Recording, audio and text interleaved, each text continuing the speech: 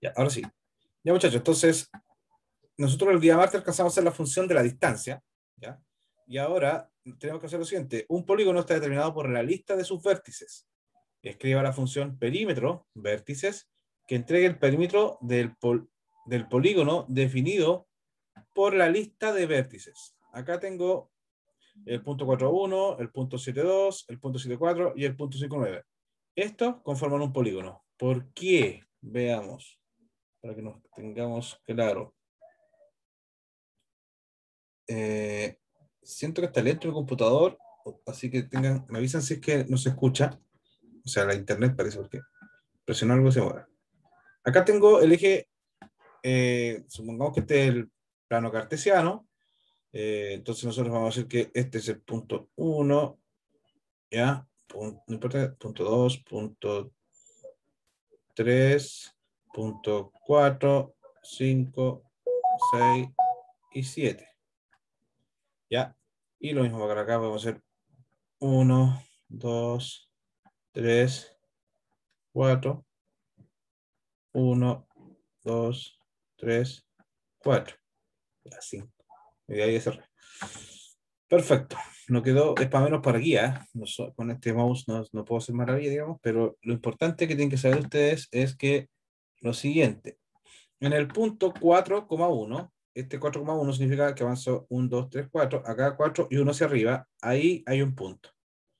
Después en el punto 7,2, aquí estaba en el 4, 5, 6, 7 y subimos 1, ahí está el 7,2, hay otro punto. Después en el punto 7,4 tenemos 2, 3, ahí estaría el 4, ¿cierto? Y después en el punto 5,9 tenemos, este era el 4, este el 5,9 va a estar por acá arriba, supongamos. ¿Ya? Esos son los puntos que tenemos en el espacio. Si nosotros unimos estos puntos, vamos a lograr a ver el polígono. ¿Ya? Vamos a unir estos puntos. Ahí tengo un punto hay uno de los puntos, ahí, y ahí tengo este polígono. Entonces me están diciendo que yo saque la distancia de este polígono. ¿De acuerdo? ¿Cómo ustedes lograrían sacar la distancia? O sea, disculpen, que saquen la, el perímetro del polígono. ¿Cómo ustedes sacan el perímetro? ¿Ustedes se les ocurre cómo sacar el, perímetro, muchachos, de un polígono?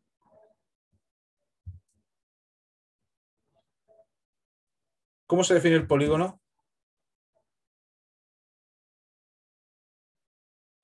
Muchachos, ¿cómo se define el, perímetro?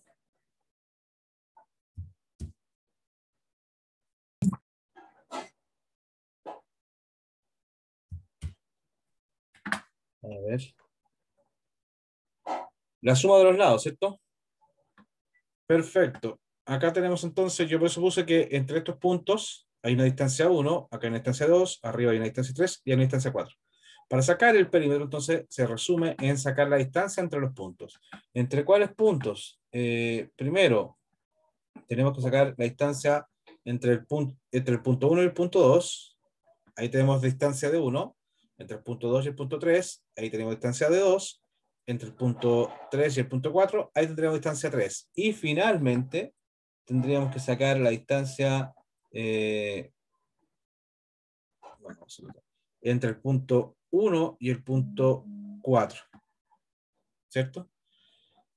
Entonces, ¿qué tenemos que hacer nosotros para sacar este perímetro? Vamos a tener que eh, recorrer una lista. ¿Ya?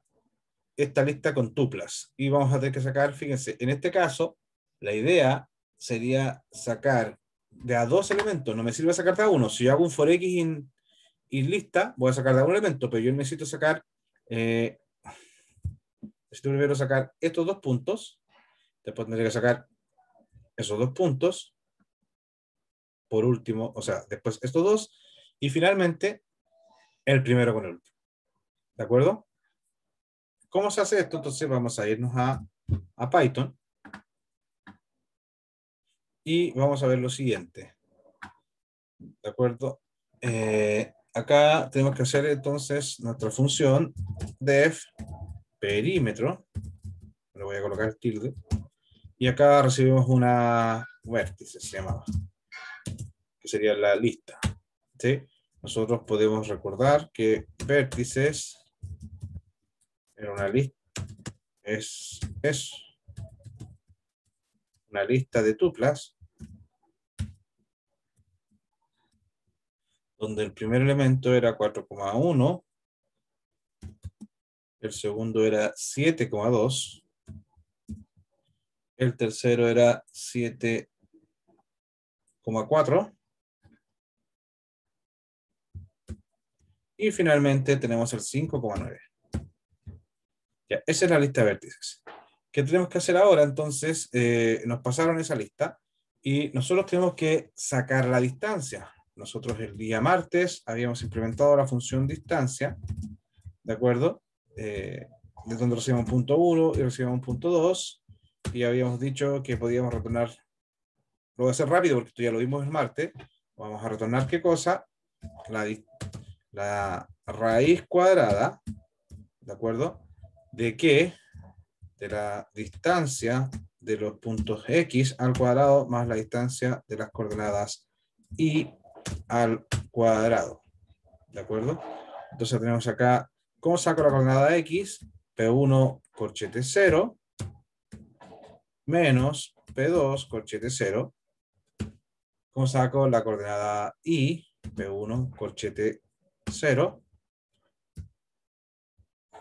Corchete 1 menos P2 corchete 1. ¿De acuerdo? Entonces saco acá P1 0, P2 0 P1, 1, P2, 1. Saqué la coordenada X, la resté, la al cuadrado, saqué la coordenada Y, la resté, la al cuadrado, y a todo eso le apliqué la, eh, la raíz, por lo tanto me devuelve la distancia. ¿De acuerdo? Eh, entonces, para sacar el perímetro, nosotros lo que tenemos que hacer es sacar eh, la suma de las distancias entre los puntos. Entonces, nosotros ya vemos, sabemos que hay dos formas de recorrer las listas y las tuplas. Una es la forma directa, en la cual yo hago for x in lista o for x in tupla, y el x va a tomar el valor directo que está dentro. En este caso, vértices. Si yo hago for x in vértices, puede sacar una tupla, pero para sacar la distancia necesito dos. Por lo tanto, esa forma directa no me sirve. La que me va a servir es la forma en la cual yo accedo por posición. Porque yo puedo sacar el elemento 0 y el elemento 0, 0 más 1 después el elemento 1 y el elemento 1 más 1. Y así voy a ir sacando de dos elementos. Esa, si ustedes lo recuerdan, se hacía for i o for post in range. El range lo que hace me genera una lista, una lista con números enteros, dependiendo del parámetro. En este caso vamos a hacer len de vértices. ¿Ya? El len de vértices acá arriba es 4. ¿Ya? Entonces, este len vértice se reemplaza por 4. El rango de 4 me va a generar una lista del 0 al 3, que justamente coincide con las posiciones que nosotros tenemos acá. Este elemento 0, este va a ser el elemento 1, este 2 y este elemento 3. ¿De acuerdo? Entonces, al hacer for post in rango, estoy sacando eh, eh, todo el elemento. Pero yo, como voy a sacar el 0 con el 1 el 1 con el 2, después el 2 con el 3, ahí deberá parar cuando yo llegue al 2. Porque si me paro en el último, 3 más 1 se va a salir fuera. Por lo tanto, acá len de vértices menos 1. ¿Ya? El len de vértices es 4, menos 1 es 3. El rango de 3 me va a generar la lista 0, 1, 2.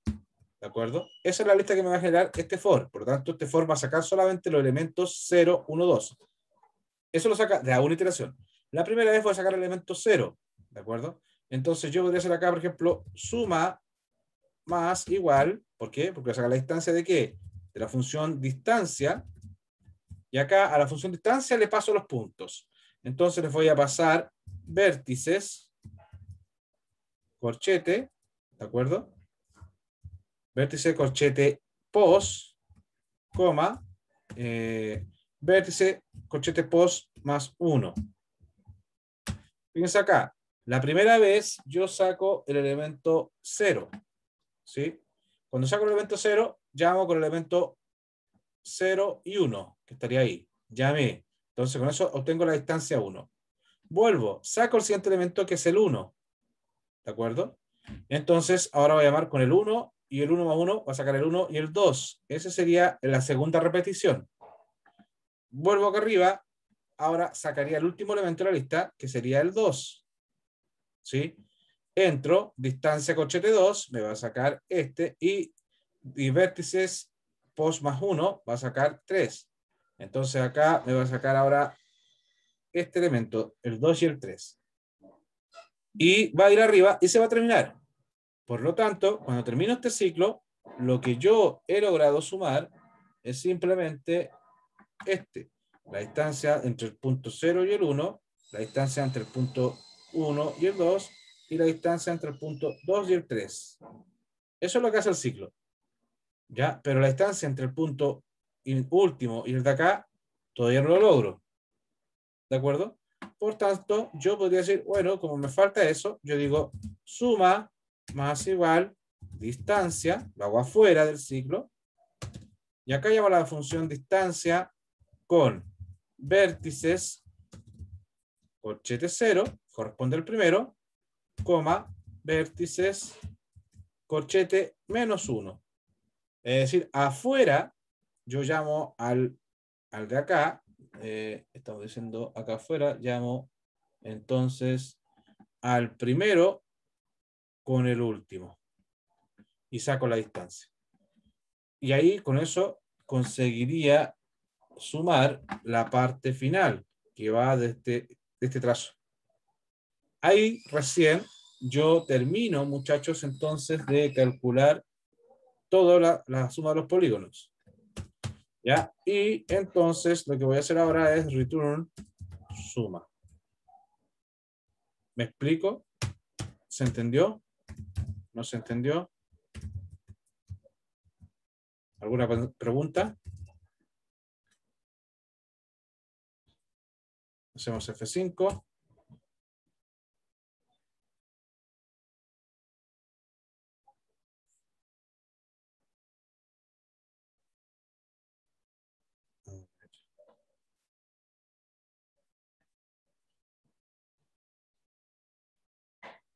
Tenemos entonces acá eh,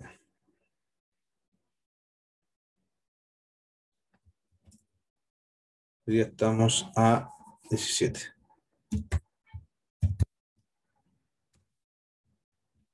Ya, ahí entonces ejecuta y nos devuelve el valor de 18,6 y algo, que sería exactamente el valor que tenemos acá. ¿De acuerdo? ¿Tienen alguna consulta al respecto, muchachos? ¿Alguna duda? ¿Algo que no hayan entendido? ¿O continúo con otro ejercicio?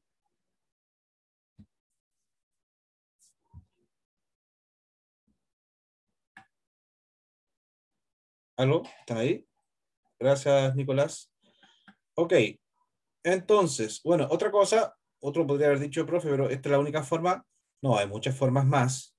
Eh, nosotros también podríamos haber creado, si nos damos cuenta, eh, como tengo que hacer el punto 1 con el 2, el 2 con el 3 y el 3 con el 4, uno eh, perfectamente podría hacer lo siguiente, haber creado vértices 2, por ejemplo, y haber dicho, haber hecho un corrimiento, digamos.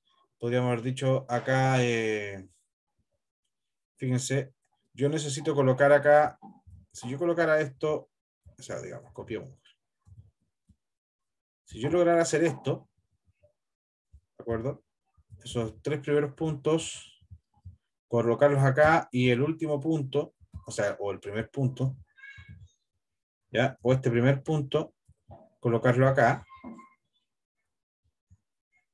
¿ya?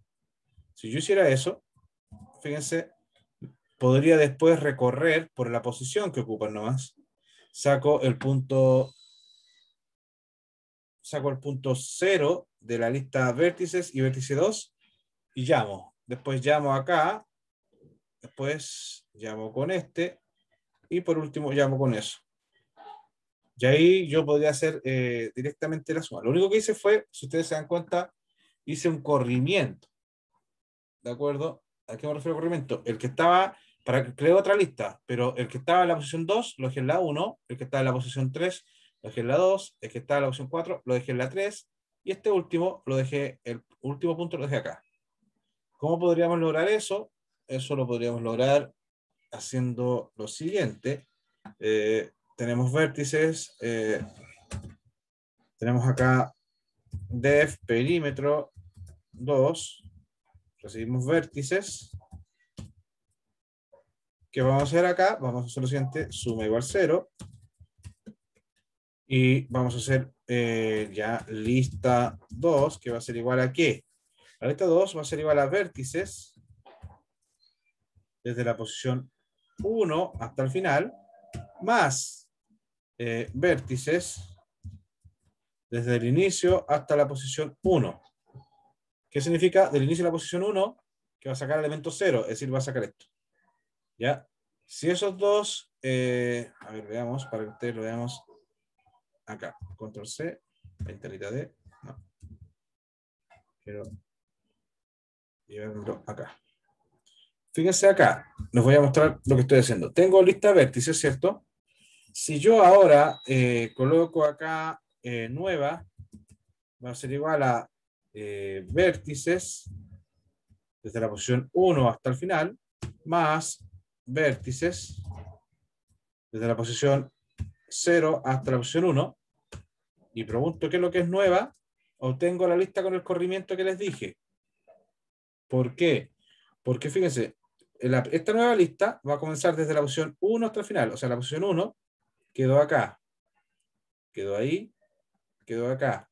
Y el último elemento lo tiré para acá, que fue eso.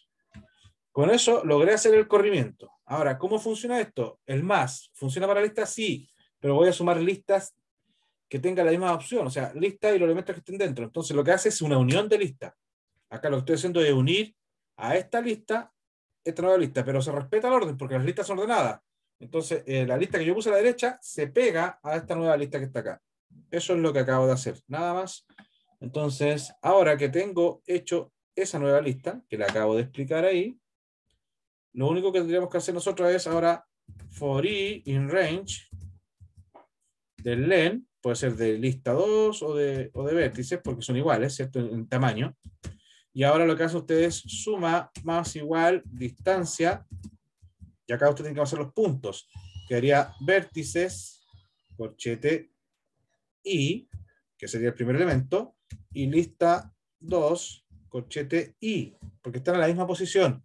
Se dan cuenta acá, en la posición 0, saco el 4-1, saco el 7-2. Después voy a sacar el 7-2, el 7-4. Después el 7-4, el 5-9. Después el 5-9, el 4-1. Y ahí va a ver la distancia y yo lo que hago es retornar suma. Entonces, acá tenemos otra forma de resolver el mismo ejercicio y vamos a llamar acá perímetro 2, F5, ejecutamos y nos dan exactamente el mismo resultado. Ahí ustedes eligen cuál el que les gusta más. En este caso, como ustedes saben que el último no se suma, lo agregan al final. O acá hacen el corrimiento y después dejan las listas directamente para poder trabajar con ellas. Ya. Listo, muchachos. Vamos, yo a ustedes les mandé por el chat eh, eh, el archivo con el que vamos a trabajar hoy. Esto ya pensando en ejercicios que sean, estos son ejercicios que han estado en certámenes anteriores, ya, para que ustedes vayan viendo. Este es el de enfermeros, dice, en un hospital, la información del personal de enfermería se almacena en una lista de tuplas donde cada tupla tiene un identificador único, ¿ya? Eh, sería ese identificador único, eh, ¿ya? Para cada profesional, su nombre y su tipo o especialidad, ¿ya? El tipo puede ser maternidad, puede ser emergencia o puede ser general, ¿de acuerdo? Por otra parte, los turnos se encuentran almacenados en la lista en la lista de tuplas, donde el primer elemento de la lista de tuplas corresponde al identificador, ¿ya? O sea, o sea, es el identificador del profesional, del o la profesional, y el segundo es una lista con los números de los bloques en donde tiene turno. Los bloques van del 1 al 10. Por ejemplo, el 126, que correspondería, no está acá al otro lado, veamos, el 271 el 271, que es BET, ¿de acuerdo? Eh, tiene el turno 1 y 9. ¿Ya? En cambio, acá el 443, que corresponde a Ion, tiene el turno 5, 8 y 2. ¿De acuerdo?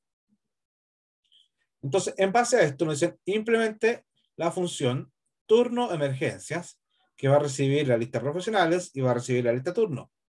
¿Sí?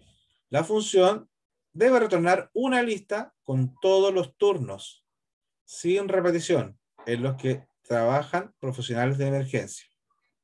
¿Sí? O sea, acá están los profesionales de emergencia. ¿De acuerdo? 271 y tengo el 85.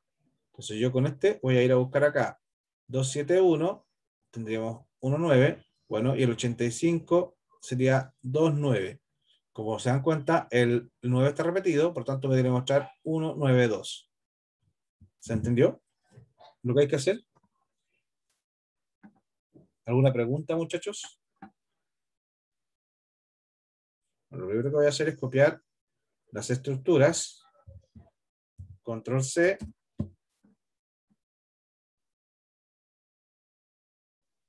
Vamos a ir acá arriba. 1, 2, 3. 1, 2, 3. Ya. Tenemos ahí la lista de tuplas, ¿cierto? Vamos a quitar los puntos suspensivos para que no nos arroje error.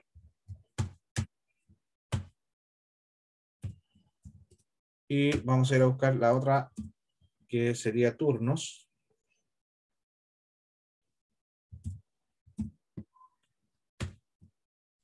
Eh,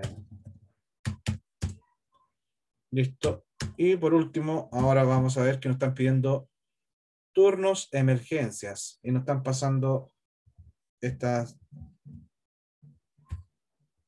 estas dos, ¿cierto? Entonces me dicen def y dice que llama la función turnos de emergencia, me pasa la lista de profesionales y me pasan la lista turnos. Yo tengo que retornar los turnos que están de emergencia, sin repetirse. ¿De acuerdo? Primero me dicen los turnos de emergencia, por lo tanto, lo primero que yo debería, ir a, debería hacer es recorrer acá a la parte de profesionales. ¿Para qué? Para identificar cuáles son los de emergencia. ¿Cómo sé los que son de emergencia? Porque en la tercer valor de la tupla está el valor E. ¿Sí? Entonces, ¿cómo hacemos nosotros para hacer los turnos de emergencia? Eh, primero, me dicen que yo tengo que retornar una lista. Entonces tengo que tener claro que debo crear una lista vacía. Porque a esa lista vacía voy a agregar los turnos. Ok, segundo, entonces, ahora tengo que recorrer la lista de profesionales para identificar cuáles son los profesionales, para identificar el código. ¿Por qué tengo que identificar el código? Yo sé que son E, saco el código y luego con ese código lo voy a buscar acá. Cuando lo encuentre, tengo los valores que son los turnos, ¿de acuerdo? Entonces, lo que voy a hacer es for eh, tupla in profesionales, profesionales. ¿De acuerdo? ¿Por qué puedo hacer for t improfesionales? Porque cuando yo hago un for directo, saco lo que está dentro de la lista. En este caso, lo que está dentro de la lista es esa tupla. Ya toda esa tupla yo la llamé T. ¿Ya? Como es una tupla, yo podría perfectamente desempaquetarla. Esa T, en vez de dejarla como T, puedo, oye, oye, una tupla la desempaqueto de inmediato, por lo tanto puedo colocar código, puedo colocar nombre y puedo colocar eh, tipo. ¿Ya? Entonces, for código, nombre, tipo, improfesionales. Ahí estoy recorriendo cada uno de los profesionales, pero estoy sacando inmediatamente los datos. Estoy desempaquetando. ¿Qué tengo que hacer ahora? Si tipo es igual a E, porque esa es la emergencia, encontré a una persona de emergencia, por lo tanto, como ya encontré, tengo su código. Como tengo su código, voy a ir a buscar cuál es el turno de ese profesional.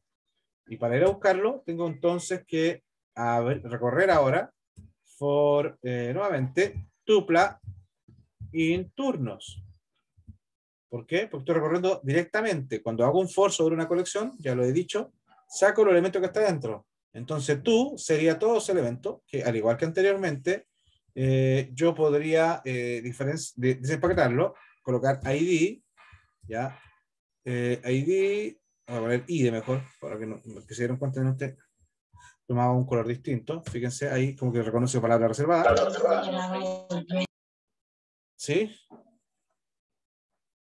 Eh, entonces, IDE, ¿de acuerdo? For IDE, Y ahora lo que vamos a hacer es, tengo turnos. Tur voy a colocar. IDE y tur. ¿De acuerdo? Porque esto es lo que estoy diciendo. A esto lo voy a llamar IDE y a lo que al lado, a esa lista, lo voy a llamar tur. ¿De acuerdo? ¿Qué tenemos que hacer ahora? Vamos a hacer lo siguiente. Eh, yo saco el código acá, que correspondería al código profesional, y acá en los turnos también el IDE es el código profesional. ¿Cómo sé cuando encontré al profesional que ando buscando? Cuando los códigos son iguales. Entonces, ustedes preguntan, si el código del, profesional es igual al ID que está en el turno, significa que encontré la persona. ¿Sí? Acá, ¿qué tenemos que hacer?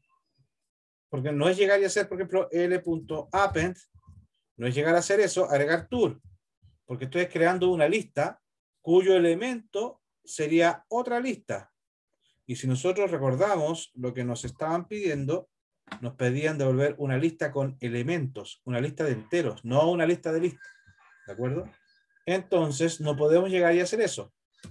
Para poder agregar de a un elemento, tenemos que recorrerlo. Lo más fácil sería recorrerlo.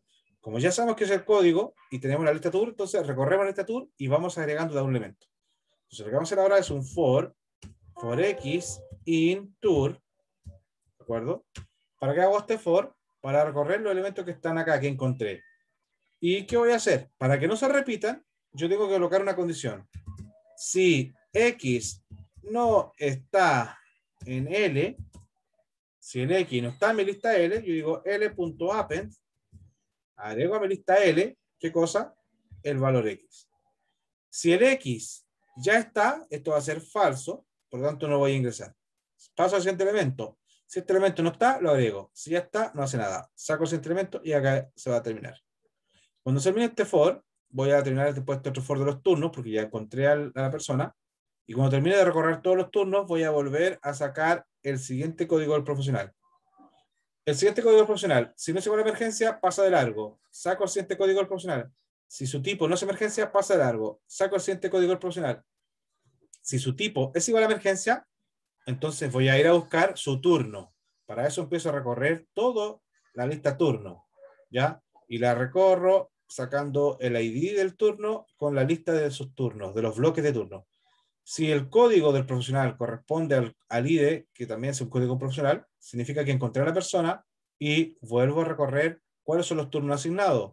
Y esos turnos serían X. Entonces, si el bloque de turno no está en mi lista, lo agrego. Y si, y si ya está, no hace nada porque ya está considerado. Entonces, ¿cuándo voy a retornar yo? Cuando terminé de buscar todos los profesionales. Cuando termino de buscar todos los profesionales, acá yo lo que hago es entonces return L. Y ahí yo voy a hacer entonces eh, el print. print ¿Sí? Tengo una duda con el primer for. O sea, en verdad con, con los primeros dos. ¿Ya? Porque en la tarea yo traté de hacerlo así igual, pero me decía que no, no podía comparar tantos términos en el for. Entonces, hice, por ejemplo, for T, improfesionales, y abajo puse eso mismo que tiene en el for, pero igual a T, y ahí me lo tomé. Vamos a ver. Vamos a ver. F5. Eh, y me funciona, no me reclama. Eh, seguramente hay que ver, tendríamos que ver, Julián, tendríamos que revisar tu for.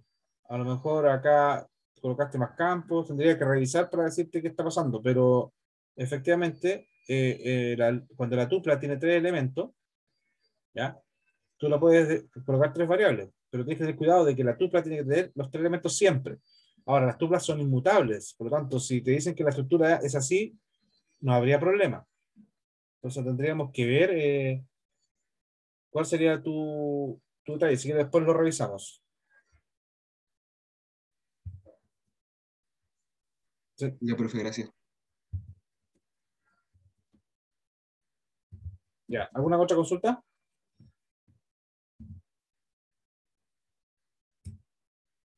¿No?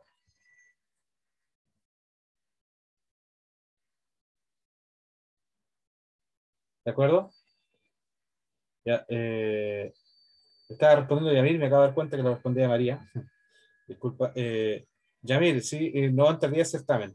Yo les aviso, por ahora no entra, no entra ruteo en el certamen 2. Son ejercicios de desarrollo solamente. Ya. ¿Alguna consulta acá? ¿Se entendió? Chicos, ¿se entendió? ¿No? Sí, profe, todo súper claro. Gracias. todo bien, profe. Vamos entonces a la pregunta, pregunta 2. La pregunta 2 nos dice entonces, implemente la función buscar profesional. Nos van a dar un profesional y nos van a dar su identificador, que recibe como parámetro la lista con la información de los profesionales y un identificador de uno, de uno o una de ellos, ¿cierto? La función debe retornar el nombre del o de la profesional individualizado por ese identificador. ¿Ya? O un string vacío en caso de que el identificador no se encuentre en la lista. ¿De acuerdo? Entonces me dicen que yo tengo que buscar profesional. Este es el buscar profesional. Acá me van a pasar dos parámetros. Uno que tiene que ver con la lista donde voy a buscar y otro es un ID, un código. ¿De acuerdo? Este, como de arriba, vamos a hacer acá def. Ya. Esto es lo que decía. A buscar profesional, me van a pasar una lista, que la vamos a llamar profesional, y un identificador. ¿Ya?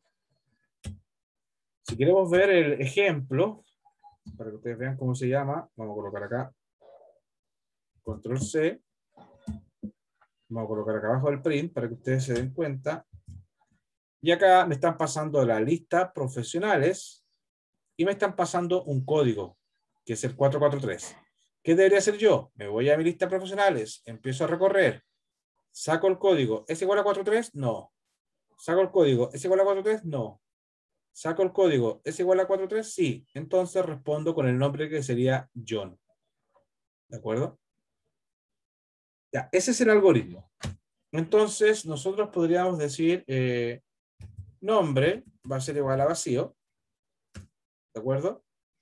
Y vamos a comenzar. ¿Por qué digo nombre igual a vacío? Porque si lo encuentro, voy a cambiar nom por el nombre. Y si no, voy a retornar nom, vacío. ¿Ya?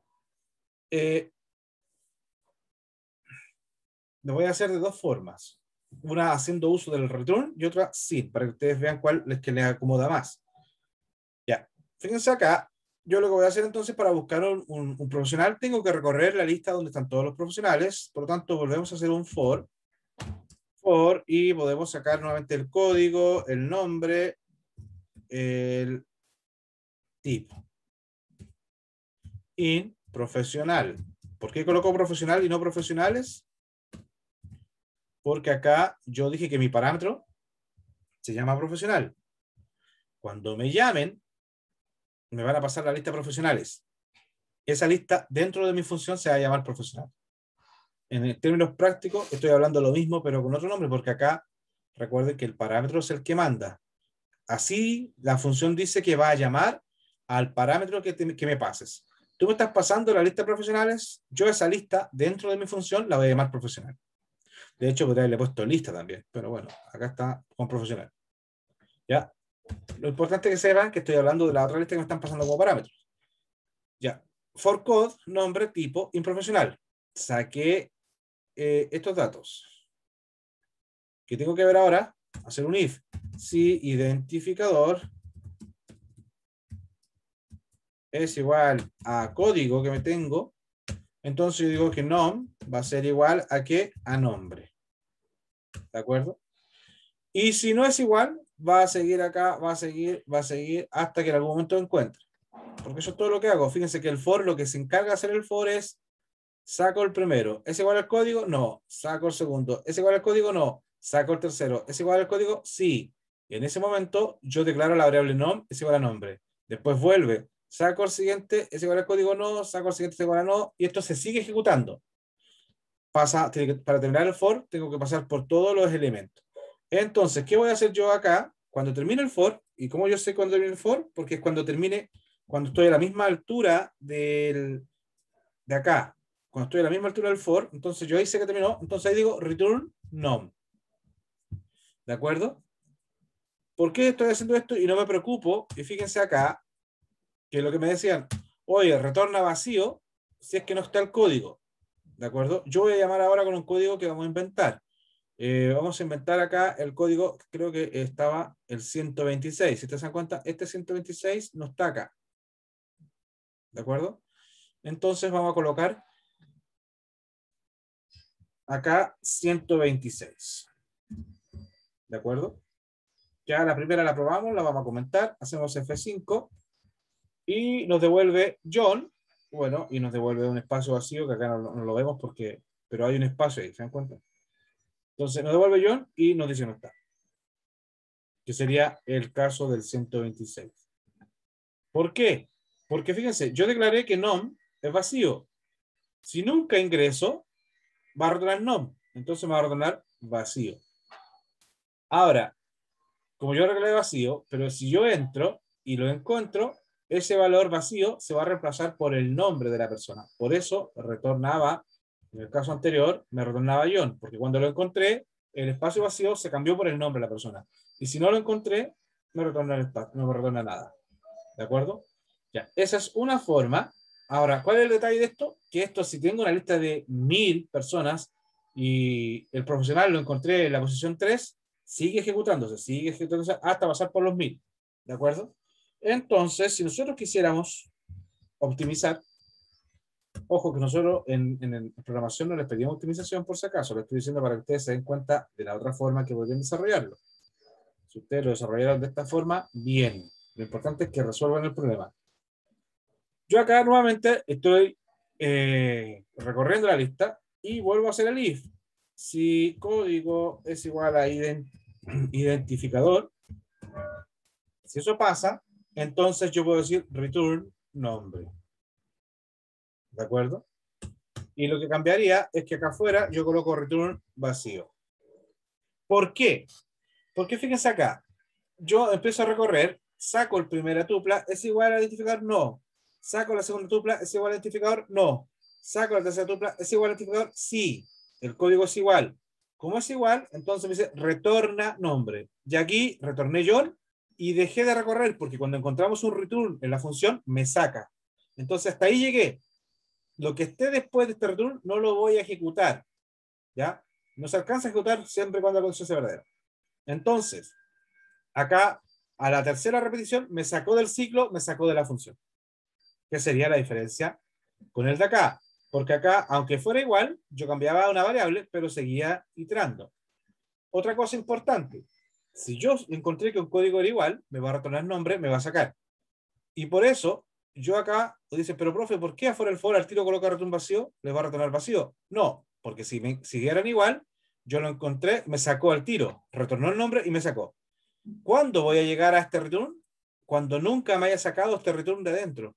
Y esta es la gracia de tener las funciones, porque el return es importante que te saca, interrumpe un ciclo.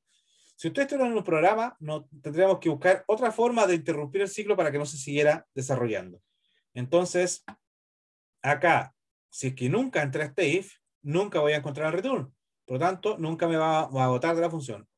Y si nunca entré es porque nunca, lo, nunca encontré ese código. Entonces, cuando termine el for, significa que no encontré ningún código igual al identificador, por lo tanto, me va a retornar vacío. ¿Se entendió la diferencia? ¿Sí? Acá estoy haciendo bastante uso del return. O sea, esta es la importancia del return. Aparte de interrumpir el ciclo, me saca de la función y retorna inmediatamente. ¿Estamos de acuerdo? ¿Alguien tiene alguna duda acá? ¿No? ¿Sí? No, profe. Gracias. no estoy seguro si creo que ya respondió la pregunta, pero ya, si existiera un caso en que hubieran dos códigos iguales y dos, dos nombres distintos, ¿ahí eh, retornaría los dos nombres? No, no, no, no. Esa es la importancia, esa es una buena pregunta. ¿Por qué? Y por eso hablamos de identificador acá. Porque si una persona, eh, es como si te Vicente, el root. Si tú tuvieras un root y estuviera tu root repetido, no te podría identificar a ti, Vicente, y no podría identificar a la otra persona, porque cuando me pasan un root, ¿A qué persona te refieres? ¿A X o Y? Por eso acá hablamos de código y estamos asumiendo detrás de que el código es único, no se puede repetir. si pasara de que el código o, estuviera, o yo estuviera buscando por una característica que se puede repetir, no puedo hacer ese return que hicimos acá. Eh, si la característica se repite, yo no podría hacer este return porque encontraría a uno con esa característica y me votaría. ¿De acuerdo? Por ejemplo, si en vez de buscar profesional por el código, yo quisiera que me devolviera el nombre de todas las profesionales que son de un tipo de categoría. ¿De acuerdo? Todos los que son de emergencia, todos los que son maternidad, todos los que son eh, generales. Si yo quisiera hacer eso, ¿ya? Por ejemplo, eh, def get eh, nombres. Voy a pasar la lista con los profesionales y me van a pasar el tipo. ¿Sí? Eh, o especialidad, con especialidad. Eso me van a pasar. ¿Sí? Entonces, como tú me estás pidiendo que yo retorne todo el nombre de las personas que son de esa especialidad, voy a crear una lista. Una lista vacía. ¿De acuerdo? ¿Qué voy a hacer acá? Voy a tener que volver a recorrer. Voy a tener que volver a recorrer o, o seguir recorriendo la lista profesional. Entonces acá lo que hago es for el código, ¿cierto? El nombre de la persona y el tipo in lista. ¿Y por qué coloco lista ahora? Porque yo estoy diciendo que el parámetro, lo que me pase, yo lo voy a llamar lista. Entonces yo digo ahora en lista. ¿Qué hago ahora? Yo digo, si el tipo de esa persona es igual a la especialidad que estoy buscando, si yo coloco return, acá me va a retornar una persona, a la primera persona que encontré esa especialidad. Por tanto, acá no puedo hacer el return. Lo que tendría que hacer es l.append. Tendría que agregar el nombre a la lista. ¿Ya? Y si no es igual al tipo, paso de largo. Saco la siguiente persona. Si es igual a la especialidad, entro, agrego el nombre. Si no, paso de largo y acá, cuando termino de recorrer, es decir, cuando termina el for, por eso me pongo a la misma altura, yo coloco return L. Es decir, ahí me va a retornar la lista. ¿De acuerdo? Y yo podría hacer acá print get nombres y vas a pasar acá y aquí si tengo que colocar especialidad no profesionales profesionales, que esa es la lista donde están los profesionales, y le pasaría la especialidad que vamos a hacer que sean de emergencia. Hoy hay mucho, mucho emergencia de maternidad. ¿De acuerdo? Hacemos F5, ejecutamos, y te vas a dar cuenta en algún momento, cuando el computador responda, que acá está.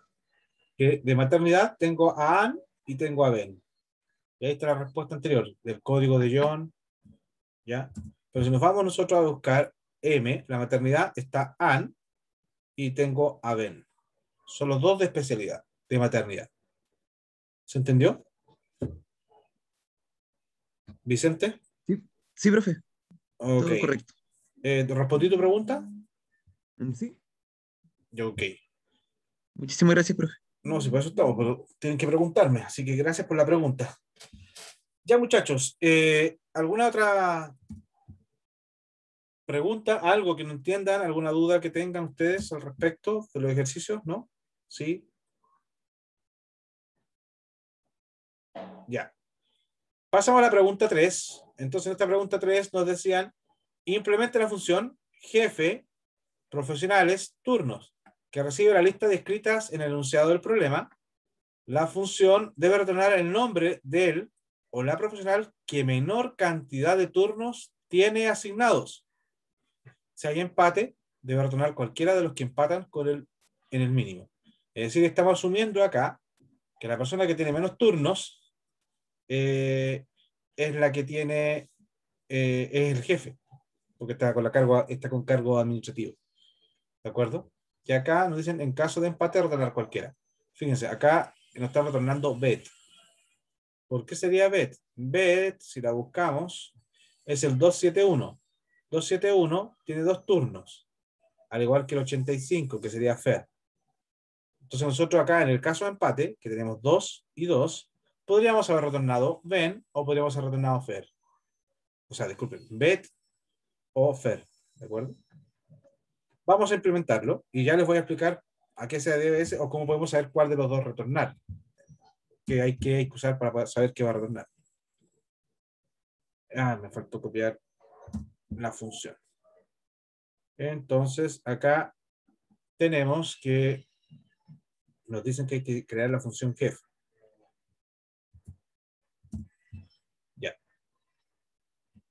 Vamos a colocar acá df jefe, ¿de acuerdo? Y esta recibe la lista profesionales y recibe la lista turnos. ¿De acuerdo? Entonces nosotros podemos decir aquí print, aprovechando que tenemos... Ya. Así se llamaría la lista. ¿Qué tenemos que hacer? Tenemos que buscar la menor cantidad de turnos. Por lo tanto, este ejercicio lo hicimos en el certamen 1, que era conseguir el menor. ¿Sí? Ah, pero vamos a usar, ¿se acuerdan que dijimos que la gracia, la gracia de todo esto, muchachos, eh, lo podemos hacer, lo podemos hacer clásico, que es buscar el menor, o lo podemos usar con la gracia que tienen las tuplas. Si ustedes se recuerdan el día, el día martes, hablamos de que las tuplas, la característica principal es la comparación. Y nosotros comparábamos eh, los elementos por, eh, eh, en base al, al, criterio este de... si el primer, nosotros establecíamos un criterio, ¿de acuerdo? Y nosotros debíamos dejar la tupla eh, en el primer eh, el criterio, la primera posición de la tupla para el ordenamiento. Porque si recordamos, la forma de comparar, la forma de comparar nosotros la tupla era la primera posición con la primera posición. Si eran diferentes, inmediatamente yo podía decir verdadero o falso. Si eran iguales, pasaba a la segunda posición. Esa forma de comparación es la misma que nosotros usamos para, para ordenar los nombres. Cuando tenemos nombres que comienzan con la misma letra, nos pasamos a la segunda letra. Si son iguales, nos pasamos a la tercera, hasta lograr la diferencia. Y además dijimos que si era todo igual, después discriminado porque la tupla que tenía un mayor largo. ¿De acuerdo? Perfecto. Entonces, para aplicarlo y para que les sirva para lo que ustedes tienen que hacer en la tarea, voy a crear una tupla. ¿Ya? Donde el primer elemento, ¿cuál debería ser el primer elemento de esta tupla si yo quisiera ordenar? ¿Cuál debería ser el elemento de esta tupla? ¿El código, profe? Tú, a ti te están pidiendo uh, ordenar por qué cosa. ¿Qué te están pidiendo a ti? El profesional que tiene la menos, menos turno. ¿Sí? Por lo tanto, tu criterio de orden es el que sea menor. Yo dejaría, como en la tupla, el primer elemento, el turno. ¿Para qué? Cuando yo después haga un ordenamiento, va a ordenarse en base a ese primer criterio va a dejar, si hago un sort, por ejemplo, me va a quedar primero de menor a mayor. Justamente lo que yo quiero, que me queden de menor a mayor, donde el primer elemento de ese ordenamiento va a ser el jefe. ¿Por qué va a ser el jefe? Porque va a quedar con el menos turno. Se lo voy a explicar ahora y después lo vamos a volver a repasar. Ya, fíjense, voy a hacer lo siguiente. Voy a, voy a, como me interesa el nombre solamente, voy a crear una, voy a recorrer turnos vamos a sacar el largo de los bloques y ese valor va a ser el que lo vamos a guardar. Después con este, con este código voy a subir a la lista profesionales, voy a buscar el código y voy a guardar el, nombre el nombre. Entonces, yo acá voy a crear tuplas de este estilo. Una tupla que es cantidad de turno, coma nombre. Eso es lo que quiero hacer. ¿De acuerdo? Para que me entiendan lo que voy a hacer. Entonces creo una lista eh, es una lista vacía. Ahora lo que voy a hacer es for eh, código coma tour, que serían los turnos, in turnos, ¿sí? For código como tour in turnos, ¿qué voy a hacer yo? Eh, voy a recorrer inmediatamente la función profesionales for eh, coma, nombre, coma, tipo, in profesionales,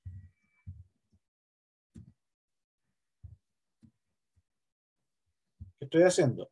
Saqué el primer, saqué esto, ¿de acuerdo? Al sacar esto, me fui inmediatamente arriba y empiezo a sacar la lista profesionales. Esta, ese código, ¿es igual al que tengo acá? No. Paso al siguiente. Ese código, ¿es igual al que tengo acá? No. Paso al siguiente. Ese código, ¿es igual al que tengo acá? Ahí recién lo encontré, entonces ahí yo lo que haría es agregar a mi lista. ¿Y qué voy a agregar a mi lista? Voy a hacer L. ah, pero antes tengo que hacer el if codi es igual a code para saber que lo encontré. Si el código es igual al code, encontré la persona. Y ahí lo que tengo que hacer es a mi lista agregar, voy a hacer un append, ¿qué voy a agregar? Voy a agregar lo que dije, primero la cantidad. Entonces va a ser el len de tour. Si yo le saco el len a la lista, saco la cantidad de turnos que tiene y luego agrego el nombre. ¿Por qué puedo hacer esto? Porque ya sé que estos códigos son iguales. Entonces estoy parado aquí y, y me paré acá. Porque este código también es igual al de abajo. ¿Sí? Entonces tengo este código, entonces acá este sería tour y esto sería nom. Entonces el lente tour me saca que es 3 y me guarda el nom, porque me paré, si usted, déjeme mostrarle mejor acá. Lo que dice es, estoy parado en la primera, acá estoy parado en la primera elemento del turno y empecé a recorrer acá. Cuando sean iguales, va a quedar parado acá. Ahí paro el flujo de la ejecución del for, de alguna forma, porque hago leaf. Si usted se cuenta, los códigos son iguales. Como los códigos son iguales, voy a entrar y cuando hablo de tour, estoy hablando de esta lista. Y cuando hablo de nom, estoy hablando de este nom, porque están parados en esa, en esa, en esa iteración. Entonces agregué el len, que es 3, y agregué John. Vuelvo, sigo buscando el, este for, se va a seguir ejecutando, voy a seguir pasando aquí, voy a seguir pasando acá, hasta que termine. Termina, y ahora vuelvo acá a este otro for, y este for va a avanzar al segundo. Va a avanzar acá. Y como avanzó, va a entrar a este otro for, y este otro for va a empezar. 125 es igual a 126, 271 igual a 126, y va a empezar a buscar. Cuando sea igual, va a entrar y va a agregar el len y el turno. Y así va a estar repitiendo hasta encontrar todos los profesionales. ¿Me explico acá, muchachos, lo que estoy haciendo? ¿O no me explico? ¿Me, logra, ¿Me logro hacer entender o no? ¿O hay algo que no, se entiende? ¿Están acá? ¿O están en mate? Yo por lo menos... No, acá, profe. Ya, entonces, ¿entendieron? No alcancé a escuchar. ¿Hay alguna duda? ¿O si lo explico de nuevo? Dígame para gozar o, dejar acá. A mí por lo menos, profe, me quedó claro. Ya. A mí igual, profe. Gracias. Entonces, cuando yo termino el for, es porque ya pasé por todos los turnos. no hay más turnos que buscar, entonces se acabó. Entonces, ¿qué tengo yo? Voy a tener una lista con la cantidad y el nombre. Cantidad y nombre como me están diciendo que el jefe es el que tiene menos turno, debo buscar el que tiene menos turno. Entonces, ustedes podrían hacer acá, oye, pero por algo dejamos Kant al inicio, porque ese es el primer valor. Entonces, si yo digo acá, si yo digo L.sort, ordené la lista. ¿Qué significa eso? Que me va a ordenar. ¿Y cuál es el orden que hace el sort? El sort ordena de menor a mayor. Es decir, como este es el primer elemento de la tupla, me va a dejar ordenado a todos los elementos que tienen el primer eh, elemento menor. Por ejemplo, acá me va a quedar todo, todos los que tienen un número van a dejar así. Todos los que tienen 2, después va a quedar el que tiene 3 y después va a quedar el que tiene 4. ¿De acuerdo? Me va a quedar 2, 2, 3, 4 y cada, cada estos números acompañado con su respectivo nombre. ¿De acuerdo? Y ahí está la gracia. Como me decían, oye, si hay caso de empate, retorna cualquiera. Entonces yo perfectamente podría acá ahora decir return L corchete 0. Al hacer L corchete 0, estoy sacando el primer elemento, es decir, el más chico. Y si hay empate, bueno, no importa, saqué el más chico, el 0, porque este, en este caso yo tengo dos chicos, tengo el 2 y el 2. Estos son, tengo el 85, que sería Fer, y tengo el 271, que sería VET. ¿Sí? Entonces, yo acá, cuando hago el corchete 0, estoy accediendo al elemento de la lista que es una tupla. Pero a mí no me interesa retornar la cantidad, sino que me interesa solamente el nombre. Por lo tanto, tengo que hacer otro corchete y colocar 1. ¿Por qué 1? Porque el 0 de la tupla corresponde a la cantidad y el 1 corresponde al nombre. Entonces, eso es lo que voy a repetir. Eso es lo que voy a retornar, digamos. ¿Me explico? Entonces, fíjense acá, voy a, voy a ir a, comentar los otros prints para no estar haciendo tantas cosas. Ustedes sepan lo que estamos respondiendo. ¿Ya? Entonces, hacemos F5, ejecutamos y... Uy, me dice error. Ajá, ah, append, ya. Déjenme ir a ver, algo hice mal en el append. Y qué bueno que me haya dado ese error. Sí, me olvidó agregar acá el paréntesis. Fíjense acá. El append recibe un solo parámetro, ¿cierto? ¿Cuántos parámetros les pasé yo acá? Le pasé el len y, el nombre. Está mal. ¿Sí? De hecho, lo voy a volver para que ustedes se den cuenta el error, si les aparece a ustedes. El append toma exactamente un argumento, le pasaste dos. Y acá efectivamente estoy pasando dos. ¿Cuál fue el detalle acá? Me faltó colocarlo como tupla. Yo dije vamos a agregar una tupla, pero no le puse los paréntesis. Yo agrego ahí, fíjense. Al pasarlo todo como una tupla, se ve un parámetro que es una tupla. Si yo hago F5, ahora sí me va a retornar vet. Ahora, ¿por qué me retorna vet y no fer? Por lo siguiente. Ustedes cuando ordenaron, dejaron cantidad, que era 2, y dejaron eh, bet, y después dejaron 2 y dejaron fer. Como yo tengo la tupla y las dos tienen 2, en caso de empate, no puedo discriminar, entonces me voy a ir al segundo valor. Y el segundo valor es el nombre. Por lo tanto, va a quedar, el más chico va a quedar vet, porque está la B antes que la F. ¿Sí? Si yo colocara acá, por ejemplo, 1,1, se van a dar cuenta que me va a retornar FER. ¿Sí? ¿Por qué? Porque FER, por un tema de, nombre, quedó en segunda posición. Pero FER también podría haber sido la jefa. ¿De acuerdo? ¿Me expliqué?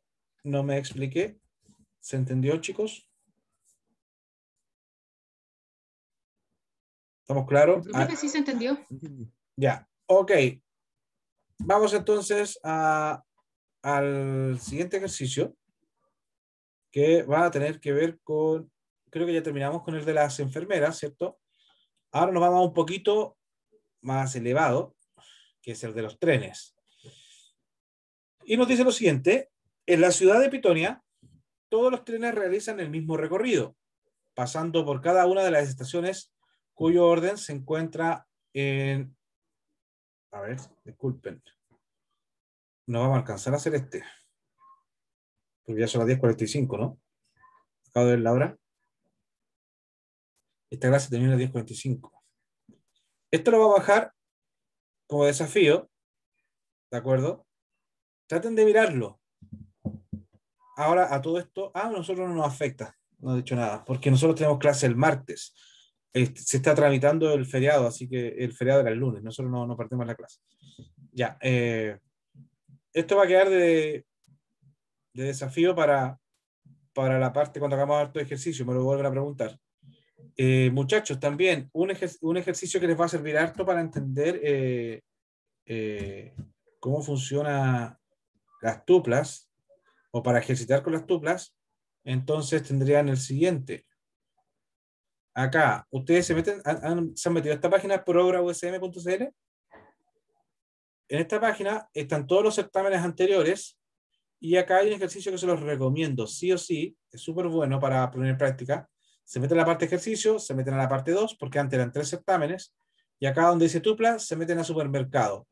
Y acá tienen todas las listas que ustedes las pueden copiar, y acá está, ¿cuál es el producto más caro? Y ustedes van a trabajar. Este, este ejercicio, 100% eh, recomendado, ayuda bastante a, a trabajar, se los mandé por el, por el chat para que guarden el link. Y era el otro que pensaba hacer, pero ahora con el tiempo, como es corto, no se alcanza. Ya chicos, los dejo entonces. Que tengan... una consultita rápida? Sí, rápida. Eh, ¿Qué tema se va a entrar en el siguiente certamen, aparte de lo que hemos visto? Ustedes van a ver listas que ya vimos, tuplas que estamos viendo. Eh, ahora les voy a liberar la, la la, la UA para que vean los videos de la próxima semana, que sería diccionario. Después de diccionario viene procesamiento de texto y archivo de texto. Todo eso y todo eso entra en el certamen. Sí, acuérdate que esto es acumulativo, por tanto, claro. Eh, el ciclo while te puede entrar, eh, o sea, prácticamente te va a entrar todo, pero en los certámenes las preguntas van a estar enfocadas a listas, diccionarios, archivo texto.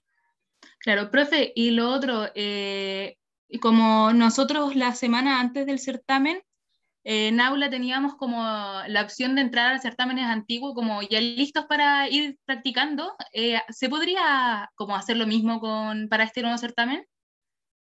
Sí, claro, pero no te entendí esa última parte de ustedes podían qué?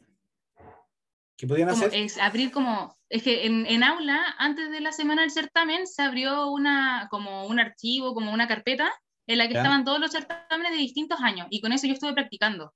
Y que si en este certamen ah. van a hacer lo mismo. Sí, pero eso te digo, Alison, eh, sí, claro, pero fíjate, acá está, si tú, si tú, quieres tener los de antes, para no tener la última semana, fíjate, Alison, certamen anteriores. Los certámenes anteriores son tuyos acá, del certamen 2, tienes del certamen 2, certamen 3 estos son los que, lo que te va a entrar a ti el próximo semestre, o sea, en, este, en esta. Ya, en el, el, segundo semestre, el que dice certamen 2, primer semestre. Todo esto. Certamen 2, todo esto son certámenes desde, el, desde 2011, desde 2011 al 2019 tienes. O sea, si quieres hacer ejercicios, por ejemplo, te metes al semestre de 2015, el ruteo no va a haber, por tanto no es necesario que el ruteo, Acá tienes preguntas, ¿te das cuenta? Eh, vas a darte cuenta que tienes acá eh, una lista de tuplas y te van preguntando y tú podrías ejercitar. La pregunta 3 tiene que ver con diccionario, que es lo que vamos a ver la próxima semana. Ah, acá puedo hacer ejercicio de diccionario y lo puedo ejercitar. ¿Te das cuenta? Entonces, ya, profe. Si tú quieres, para que no te esperes que te liberemos la, la, los certámenes la última semana, puedes venirte acá a practicar. Ya esto es lo que vamos a ver, ya esta es la última, la última, las últimas dos semanas que tiene que ver con archivo texto. Así que esto todavía no lo puedes ver. Pero certamen 2, ya te puedes meter a hacer ejercicio de certamen 2. Ya, profe. Muchísimas gracias. Listo, que estén bien. Cuídense. Chao, chao, profe. Chao, chao. Chao, profe. Muchas gracias. Cuídense. Chao, profe. Que tenga buen día. Igualmente. Cuídense. Chao.